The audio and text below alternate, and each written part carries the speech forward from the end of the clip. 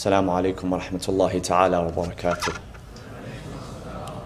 بسم الله الرحمن الرحيم. الحمد لله رب العالمين نحمده ونسبحه ونقدسه على آلائه ونعمائه. ونشهد أن لا إله إلا الله وحده لا شريك له إلها واحدا أحدا فردا صمدا حيا قيوما. نؤمن له بالربوبية ونقر له بالعبودية. من يهد الله فهو المهتدي ومن يضلل فلن تجد له وليا مرشدا. ونشهد أن سيدنا محمدا عبده ورسوله.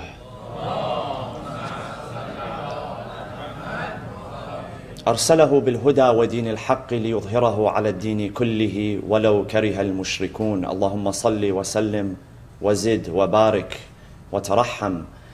على محمد وآل محمد كما صليت وسلمت وباركت وترحمت على إبراهيم وآل إبراهيم في العالمين إنك حميد مجيد. وصل اللهم وسلم على جميع الأنبياء والمرسلين والشهداء والصالحين وعترة نبيك الطاهرين. عباد الله أوصيكم ونفسي بتقوى الله عز وجل. قال تعالى في كتابه الحكيم بسم الله الرحمن الرحيم. إن يمسسكم قرح فقد مس القوم قرح مثله. وتلك الأيام نداولها بين الناس وليعلم الله الذين آمنوا ويتخذ منكم شهداء. والله لا يحب الظالمين. صدق الله العلي العظيم. وصلوا على محمد وآل محمد.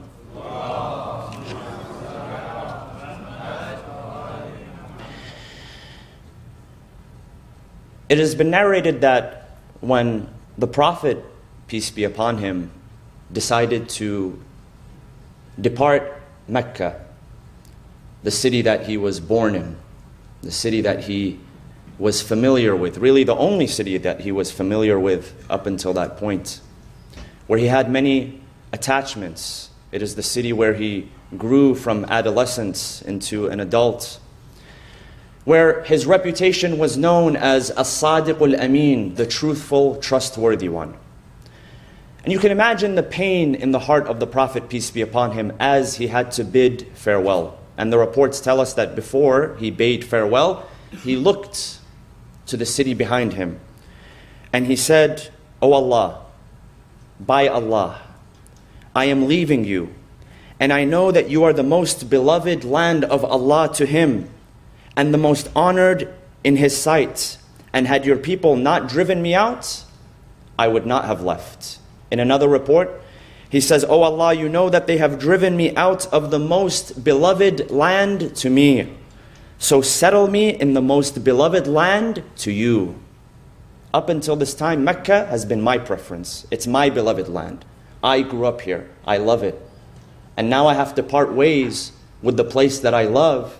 So I'm asking you, oh Allah, to settle me in a place that you love. It was my turn to love this. Now take me where you want me to go. And the Prophet had no guarantee that he was ever going to return to his home. No guarantee. It was not until the Prophet was on an expedition, uh, a missionary expedition, teaching some of the tribes of Islam and delivering the message.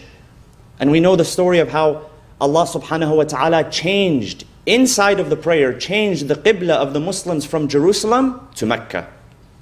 And the Prophet turned, Jibra'il, the narration says Jibra'il allowed the Prophet to turn 180 degrees from the north to the south. And that was the sign that the conquest of Mecca was imminent. Because why would Allah turn him to a direction of a place that is going to remain on its idolatry, that it's going to remain on its paganism. So, that was the first sign that the Prophet, peace be upon him, would return. But again, there was no guarantee. The Prophet left with a heavy heart, with a broken heart. Allah subhanahu wa ta'ala reminds us in the Quran, in yamsaskum qarhum faqad massal qawma qarhum mithluh. That if you suffer a blow, remember that you are not the only one. You're not the only one who loses. Even your enemy who you fight against, they have their losses as well. The Prophet, peace be upon him, had no guarantee. However, his heart was full of hope. He knew that one day Allah subhanahu wa ta'ala would return him to this promised land. And truly he did when he first saw the dream. And then God says to him in Surah Al-Fath, إِنَّا فَتَحْنَا لَكَ فَتْحًا مُبِينًا لِيَغْفِرَ لَكَ اللَّهُ مَا تَقَدَّمَ مِنْ ذَنْبِكَ وَمَا تَأَخَّرَ Truly, we are granting you a manifest victory. Sometimes the manifest victory is there. It's dormant. The seeds are there. Yet, it has not been fertilized. It has not have been given its time to emerge. So the Prophet left, and that feeling of not knowing whether we would return, and not just not knowing whether we would return to our homeland, but this new land that we have come to, are we going to survive here?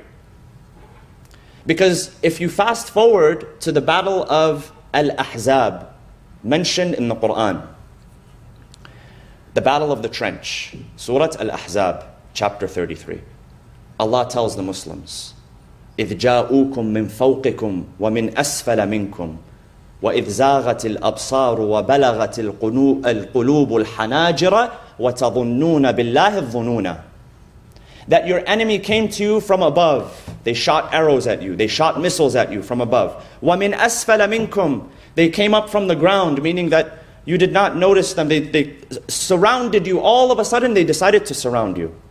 وَإِذْ زَاغَتِ الْأَبْصَارِ You know, your eyes went back into your head.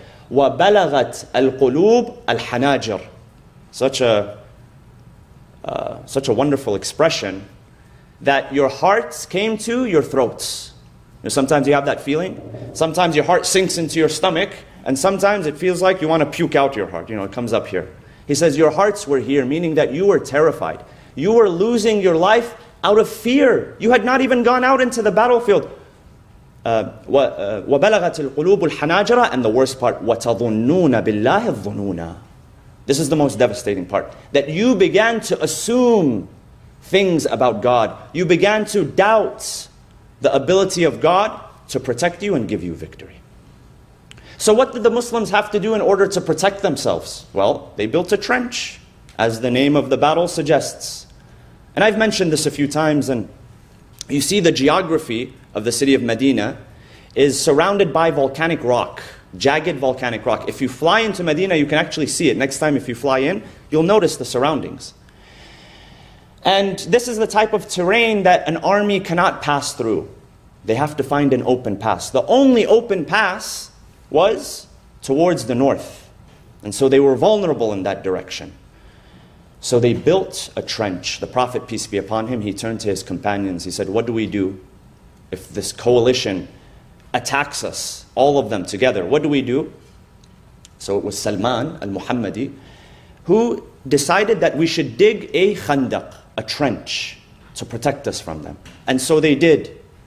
And the Prophet, peace be upon him, was not standing there, you know, like, uh, like sometimes you see uh, Caltrans, you know, there's five guys outside and there's one guy in the hole doing all the work, you know. So it wasn't like that. The Prophet rolled up, no offense to anyone who works for Caltrans, by the way, but the Prophet rolled up his sleeves and he said, I will work. I will be the one to carry. And then all of a sudden, they come across a rock. You know, when you're digging, you come across different types of terrain. There's soil, there's rock, there's different things you can. They come across a rock that they could not strike. So they call the Prophet and they call Salman. It's his idea. Let him figure out the solution. So they call the Prophet. The Prophet goes down into the ditch. Remember, they are completely surrounded from every angle. And the Prophet takes the pickaxe from Salman. Every tool that they had used before that was breaking against this rock. The narration says that he took the pickaxe from Salman and said, Bismillah, in the name of Allah, and he struck it once. When he struck the rock, he broke a third of it. And a light emerged into the direction of Yemen, illuminating that space. The Prophet, peace be upon him, said, Allahu Akbar, I have been given the keys to Yemen. I can see the gates of Sana'a from my place here as if they were the teeth of dogs. This is an expression. You know, dogs don't show their teeth until you get very close. So he's saying, I can see the palaces of Sana'a as if I see the teeth of dogs. And then he struck a second time. He broke another third. Another flash appeared in the direction of Ar-Rum, the Byzantine Empire. illuminating the space. He said, Allahu Akbar, I have been given the keys to Syria. By Allah, I can see its red palaces from my place here. And then he struck one more time and it went in the direction of Persia. And he said the same thing. He says, Jibra'il has informed me that my nation will be victorious over them. So rejoice with the good news of victory. Remember, the Muslims are surrounded from every angle. So Abdullah ibn Ubay, the chief of the hypocrites, who's mentioned in the Quran, who tried to foil, uh, you know, who tried to uh, uh, attempt against the Prophet, peace be upon him, he turns to his companions. Says, You hear what Muhammad is saying? He's stuck in a ditch down there. We're all stuck. We can't even go to the bathroom without looking over our shoulders, yet he's telling us that we're going to conquer this place and that place. But did that shake the conviction of Rasulullah in any way? Did he go hide and cower and say, I can't believe they're talking about me behind my back and forget this, I don't even want to be here in the first place? Most of us, we lose hope just over a few words. Have you seen sometimes when you've given up on something just because someone was mean to you? You know, someone hurt your feelings a little bit? Allah subhanahu wa ta'ala says that I want people who are, who are strong, who are convicted, and if you're not up for the task, I will find people who will replace you. Bismillah ar-Rahman ar-Rahim. Ya ayyuha amanu. من يرتد منكم عن دينه فسوف يأتي الله بقوم يحبهم ويحبونه O you who believe, if any of you go back on your faith, yartad, ridda, to go back on your faith, God will soon replace you with the people He loves and whom love Him. So if you don't love God and He doesn't love you, it's easy for God to simply replace. Is there something in all of us here sitting in this room? Is there something special about our shared that we have about our DNA that makes us the chosen people? Is anyone here chosen? Please let us know. I'm not chosen. I don't know if anyone else. But if someone's chosen, please let us know. We're not chosen genetically. We are chosen based on what? What is the thing that separates all of us? Allah says, I created you in nations and tribes. I purposefully made you different. I purposefully made it that one person on one side of the country has an accent and the other person has another accent and another cuisine. And we fight over these things. We fight, we make fun of this person's accent, we make fun of this person's cuisine, this person's from this part of the country. Why does Allah create us in this way? He says, The most honored and the best of you are whom? Inna akramakum indallahi atqakum. We all know this. Ahsantu. Taqwa. And I was mentioning this yesterday when we spoke about how the Quran affirms the scriptures and the devotional practices of the people before, the Jews and the Christians, that they have the guidance in their Torah, they have the guidance in their Injil, and some of them take it seriously. Some of them take it more seriously than the Muslim who has received the revealed law from Allah subhanahu wa ta'ala. One of the first Muslim scholars to leave the Middle East and travel to Europe, Jamaluddin al Afghani. Do you know what he said when he came back? He was from Afghanistan. He came back. He said, I traveled to lands where I saw non Muslims behaving as Muslims should. And here I live amongst Muslims who behave like kuffar. You see the irony in this? So Allah says, if you want to continue, I will replace you. It's not a big deal for you, for me to replace you. There's nothing special about your flesh and your blood that I have given you that I have not given anyone else. So the Prophet, peace be upon him, he was firm in his resolve. He did not care about how their media portrayed him or any of his followers. He knew that he was with Allah subhanahu wa ta'ala. And God promises victory to those who remain loyal to him. One more example I'll give you how the Prophet was not shaken was during the Treaty of Hudaybiyah or Hudaybiyah, where the Muslims finally decided that we have, we've defended ourselves enough times, we are competent enough and we are strong enough that we can go back and claim what is ours. So they marched on Mecca, and the Meccans met them halfway, and they said, You will not proceed. You won't perform the pilgrimage. So they sat down and they wrote the Treaty of Hudaybiyah that the Muslims agreed not to come this year. And many Muslims were furious. Some of them, even in that instance, they wanted to rebel against the Prophet, peace be upon him. Some of them were looking for the slightest, ah, whatever it is, to rebel against the Prophet and say, see, he's a weak man. We can do better than him. So the Prophet had to deal with these things internally as well as he dealt with the non Muslims. So Suhail ibn Amr sits down. And the Prophet makes whom his scribe? Who was his scribe in the Treaty of Hudaybiyah? Ali ibn Abi Talib alayhi salam.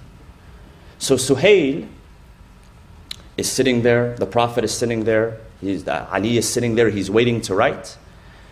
And the Prophet begins to speak the words for him to write. He says, From Muhammad, the messenger of God, Sallu ala Muhammad wa ali Muhammad. The messenger of God to Suhail ibn Amr, the chief of the Meccans. Suhail said, No. He said, What is this title, the messenger of God? Said, Do you think in our right mind we would continue to fight against you if we actually believe that you are the messenger of God? Remove this line, the title, the messenger of God. So the Prophet tells Ali ibn Abi Talib, Ali says, I Not me, Ya Rasulullah, I can't do this. He says, I'm telling you, Ya Ali, for their sake, for the sake of this peace.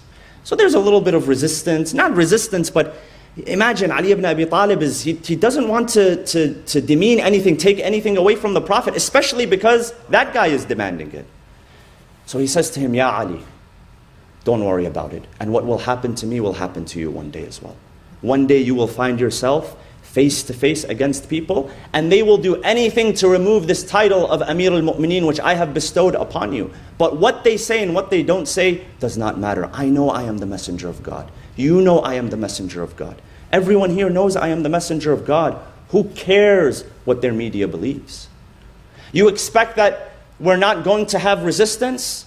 You expect that we're not going to have enemies? Allah subhanahu wa ta'ala says, إِن يَمْسَسْكُمْ, إن يمسسكم قَرْحٌ فَقَدْ مَسَّ الْقَوْمَ قَرْحٌ مِثْلُهُ If you have suffered a blow, they have suffered one like it. وَتِلْكَ الْأَيَّامُ نُدَاوِلُهَا بَيْنَ النَّاسِ وَلْيَعْلَمَ اللَّهُ الَّذِينَ آمَنُوا and he, Allah says that these days we, we, we deal them out, there's, there's a rotation. Not every day you are going to be victorious. Imam Ali alayhi salam says there's two, two types of days. Yawmun laka wa yawmun alayk. One day is for you and one day is against you. Don't get too excited and overzealous when things are going for you, and don't get too sad and depressed when things are not going for you.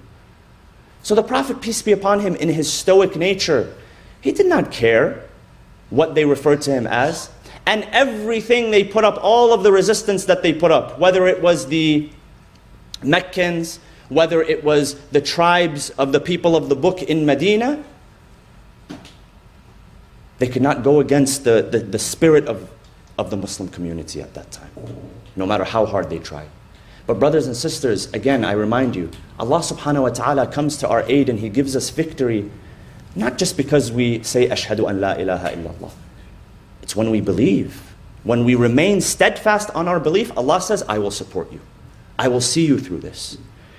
And these are times where we are living very difficult times. We see our brothers and sisters are suffering every day. Over a year, of course, it's been more than 70 years, but I'm talking about just recently, over a year. More than 40,000 people in Gaza alone slaughtered mercilessly most of them women and children. Where are the combatants that you talk about? Where are the terrorists that you talk about? Where are they? You have the most advanced nation of the, in, in the world, advanced army. We just gave you billions of dollars. But we can't give money to people in North Carolina and Florida. So we must remain steadfast on our belief. We must remain steadfast in our dua, brothers and sisters. It makes a difference. It does make a difference. Let us not lose hope, even when we see the enemy has gathered around us, has surrounded us. بسم الله الرحمن الرحيم والعصر إن الإنسان لفي خسر إلا الذين آمنوا وعملوا الصالحات وتواصوا بالحق وتواصوا بالصبر وصلوا على محمد وآل محمد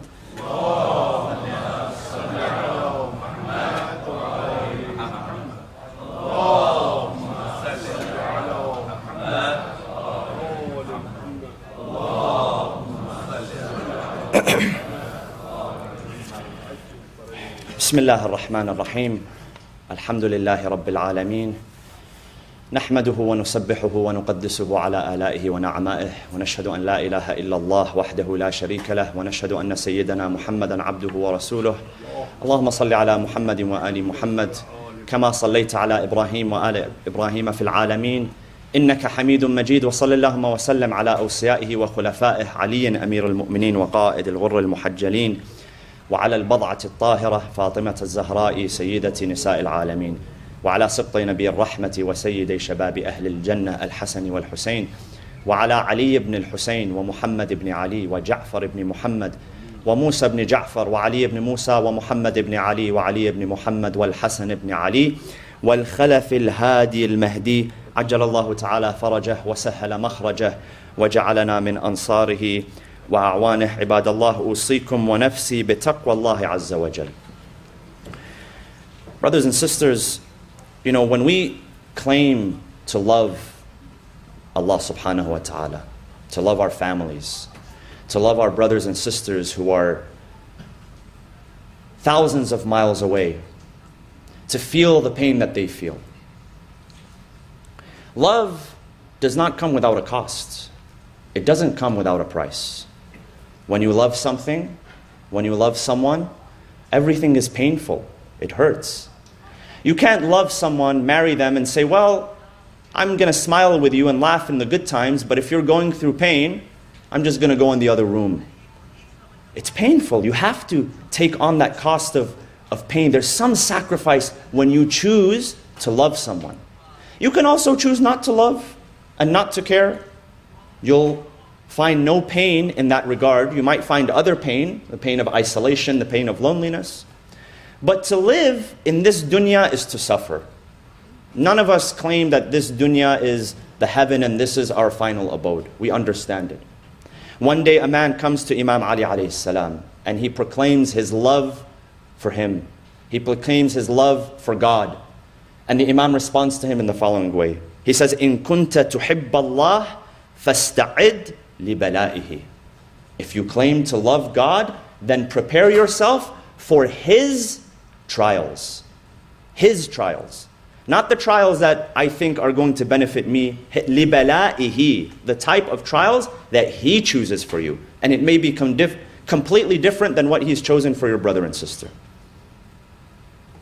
He says, إن كنت تحب محمد صلوا على محمد وآل محمد فاستعد للفقر Prepare yourself for poverty. Doesn't mean you'll be a poor man. You know, you'll lose all your money once you start loving the Prophet, peace be upon him. But we have examples of people who gave everything that they had because they loved the Prophet, peace be upon him, deeply. Chief amongst them. And the best example of this was whom? Khadija bint Khuwaylid alayhi salam. One of the three wealthiest people in all of Mecca. Yet when she died, there was not enough to purchase a kafan for her, a shroud.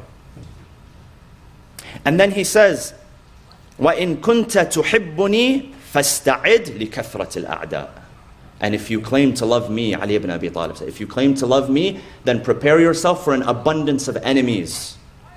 You are automatically going to have a target on your back. You are automatically going to have crosshairs on your forehead. Because they know me and they know what I stand for. And they hate everything that I stand for. And if you stand with me, there is suffering.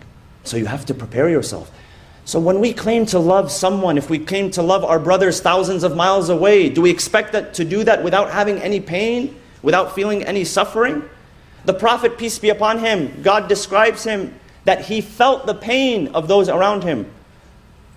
لقد جاءكم رسول من أنفسكم عزيز عليه ما عنتم حريص عليكم بالمؤمنين رؤوف رحيم He cares for you more than you care for yourself. He feels your pain sometimes more than you feel your own pain. This was the Prophet, peace be upon him. Brothers and sisters, we have to spiritually fortify ourselves. Every day, we are seeing trials and tribulations. And we're not untouchable. We think we're untouchable just because we have five lane highways and because there's safety. We're not untouchable. If we decide to disobey, if we decide to go against the commands of God, who says that we are going to enjoy this safety and security forever? Why cannot we imagine ourselves in the place of our brothers and sisters? Can you imagine your own children? Have you seen the images of what they do to children? It's intentional. I promise you it's intentional. Because they want to humiliate, they want to cause terror, they want to cause fear.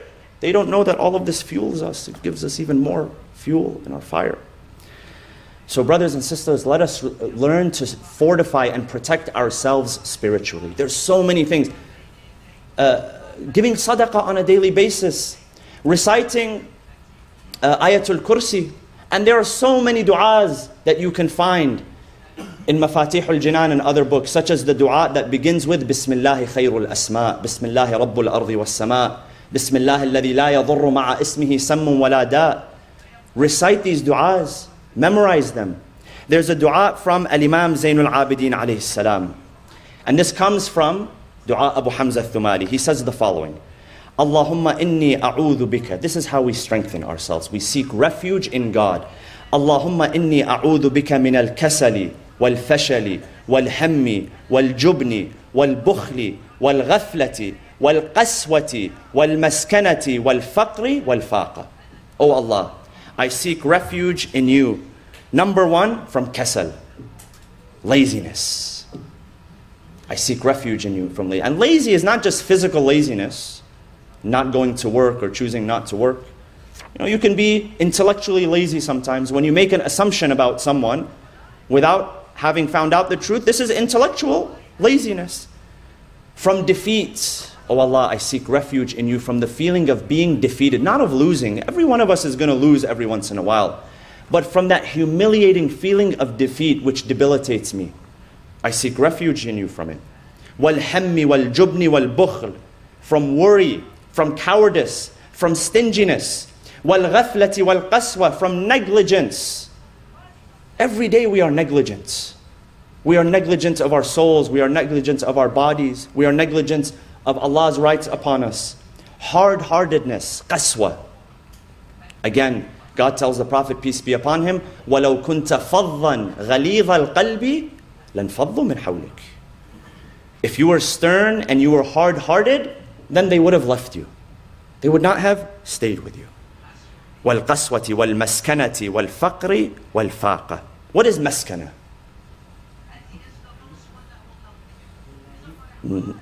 Maskana, no, it's not, it's not being naive. Maskana is being needy. When you're needy to someone or something. Unnecessary attachments. والفقر والفقر والفاقة. Faqr, of course, is poverty. Allah says, Ya ayyuhan nasu antumul fuqara'u ilallah. There's one type of poverty that we cannot avoid. And that is al-faqru lillah, our poverty and our need to Him. Every other type of poverty you can alleviate. You're broke, go make some money. You'll alleviate that. But if you're broke with God, what and who will alleviate it? Nothing. So wal faqri wal faqa and deprivation. Oh Allah, give me enough in my life that I can actually worry about the things that I need to worry about, not the things that I do not want to worry about. Oh Allah, do not make this dunya the center of my thoughts and my concerns. This is a dua of the Prophet, peace be upon him. Sometimes we get so caught up with this dunya and the shaitan wants to make it the center of our mind. He wants to, he wants to put it right there. Yet we have to resist. Because as I mentioned, brothers and sisters, what we are going through is, is difficult. And if, if what you see, these images, are anxiety inducing, are sadness inducing, remember the dua. As soon as you start to recite dua in the Quran, these bring a healing to the soul. Let us become closer to Allah. Let us become closer to the words of the Ahlul Bayt. Brothers and sisters, today is the day of Friday. Let us raise our hands and ask Allah subhanahu wa ta'ala on this blessed day to relieve all of those who are oppressed. Our brothers and sisters in Gaza, in Palestine, in Lebanon, in Iran, in Iraq, in Syria, everywhere in the world, here on the other side of the country. Oh Allah, we ask you to send upon them your relief. We ask you, oh Allah, to allow us to come to the aid of those who are oppressed. We ask you, oh Allah, to forgive our sins on this day and to make us uh, your citizens and your soldiers on the right path. Bismillah ar-Rahman ar-Rahim. اللهم اغفر للمؤمنين والمؤمنات والمسلمين والمسلمات الأحياء منهم والأموات. تابع بيننا وبينهم بالخيرات. إنك مجيب الدعوات إنك قاضي الحاجات إنك على كل شيء قدير. برحمتك يا أرحم الراحمين.